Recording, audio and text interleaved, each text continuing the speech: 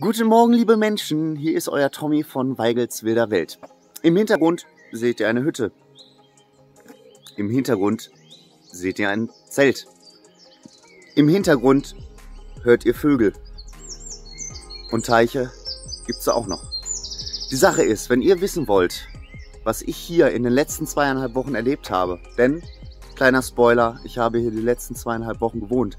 Was ich alles gemacht habe, was ich alles erlebt habe, dann bleibt dabei. Morgen Abend, am Sonntagabend wird ein Video erscheinen, wo ich euch das alles erzähle und ich nehme euch mit auf eine kleine Reise, einen kleinen Urlaub inmitten der Natur. Ich freue mich auf euch. Euer Tommy von Weigelswilder Welt. Ciao.